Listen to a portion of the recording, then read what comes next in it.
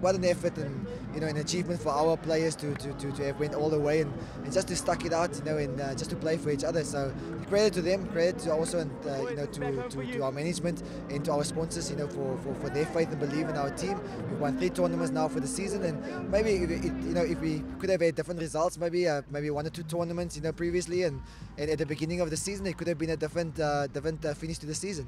Yeah, we, we, we wired a bit differently. Um, I mean, the, we use we use all the setbacks of the season, and it, it, gives us external motive. And the guys are very much team orientated, so they really end up playing for the team and, and not for anything else.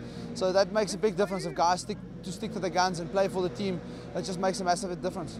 I can't really explain the feeling. It's such a great feeling.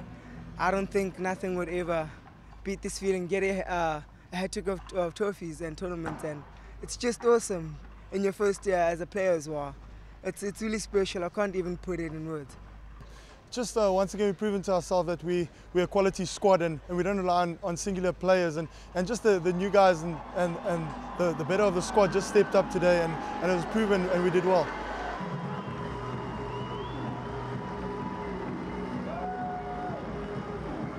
Yeah, winning New Zealand for the third time, it feels very good. Coming into Scotland, not doing so well last year, but doing so well this year, and yeah, just taking this confidence into next week.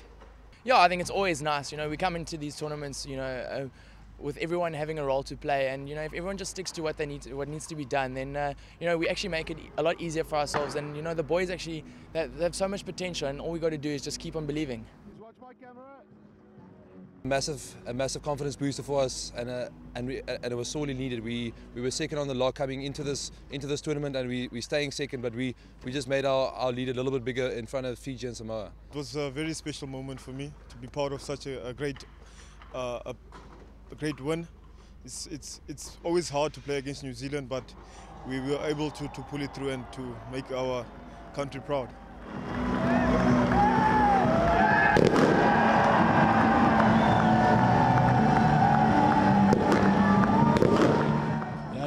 Very special team that I'm playing for. Uh, playing in my fourth tournament winning two is a very great experience for me, and uh, just building it from there now. Very much uh, the World Cup lies ahead, but uh, I think we're first going to concentrate on uh, London. But like for the individuals, I think we, we tested like our depth of our squad very nicely here, and uh, I think a few few guys put their hands up. No, definitely the team needed this win. Um, back-to-back tournaments, um, you don't get that so often, and we're really proud of the guys. Really stuck into it, and yeah, play for the guy next to you. We're like a brotherhood in this team. Um, going on tour, spending a lot of time together. I'm really proud of the guys, and yeah, we just stuck into it. Yeah, it's it's it's a massive privilege to be involved with this team. Um, it's been an incredible first year. Um, just the quality of the squad and the quality of the management team and how everyone pulls together. Um, we've had gone through some tough times and there's been some some really tough tournaments that we've been managed to bounce back from. So it's been nice to be able to you know start the start the two leg tournament with a win.